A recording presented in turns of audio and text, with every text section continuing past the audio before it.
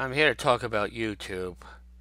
If you have a Gmail account, you now have a YouTube channel. I am logged in. When you're going into the YouTube channel from Gmail, make sure you have passwords and stuff. Probably best to do this on your own computer. I am logged in. This is the home page here. And as you can see, it's showing videos that I've watched or that they think I'd be interested in. If I go over here, I have this little logo here. It's like a cat on top of a computer. I click here. I'm going to click on Creator Studio. This is showing a bunch of things. I can view my channel. It's showing my videos, number of people that have seen it. It shows analytics that I have here, estimated revenue that I've earned. Yes, you can monetize. I've been monetized for a couple of years.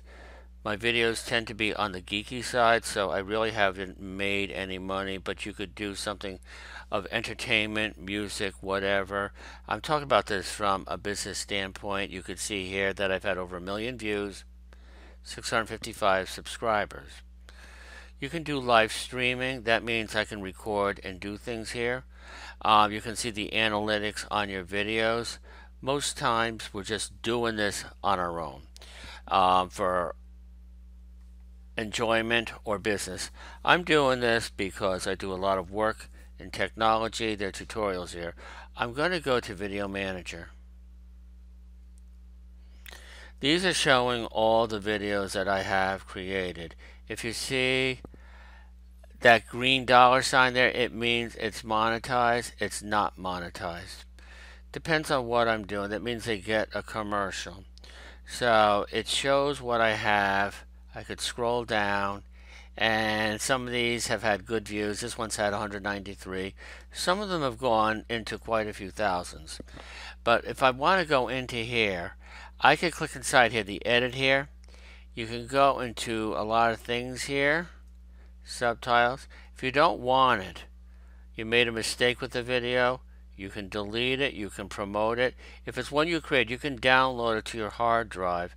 Uh, if you see something that somebody else has done, you can't do that unless you have access to their account. There are other ways of doing this if you need it.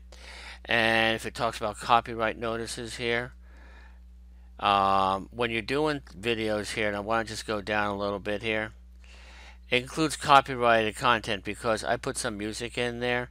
Most of the time it goes through, sometimes it will say blocked in some countries because of the copyright on the music. Next thing here, I'm going to click on the dashboard. It's just showing the statistics, that what we saw before. Analytics, it's talking about the traffic time and average duration. You can get very, very involved with this. I'm going to click on my channel. I've had zero copyright strikes, which is good. If you want to, um, it said I um, disable the monetization. I can do that here. You can do live streaming. You can embed that in a website here. After you're established with your account, you can put in videos longer than 15 minutes. Lot of really good things in here.